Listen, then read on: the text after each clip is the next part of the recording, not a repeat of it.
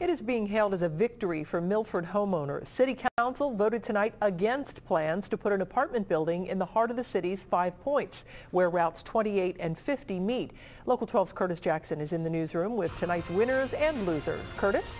Curtis, or, or Cami, Councilman Jeff Lykins was the lone vote in favor of the zoning change that would have allowed the project to move forward. The vote was 5 to 1. A grassroots effort led to the project's defeat. Real Estate Ventures Capital wanted to buy the former Milford, Main Middle School from the school board and turn the property into an apartment complex. Opponents say the building would have been too big, casting a shadow over their homes and creating more traffic. They were also concerned about the project decreasing the value of their homes. They hope their victory will clear the way for a better use of the property. We're not stopping here. I think that any developer that's going to see knows that they've got a community that's going to be uh, there watching their decision, what they do with the property. And I am very, very confident and I truly believe somebody's going to step up that's going to do the right thing that's going to fit best for the residents, the city, and the school board. Now, many opponents are hoping that the property will become green space or perhaps even a playground or both.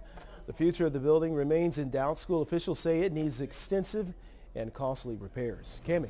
All right, Curtis, thank you. And the developers who offered to buy the property refused to comment as they left tonight's meeting.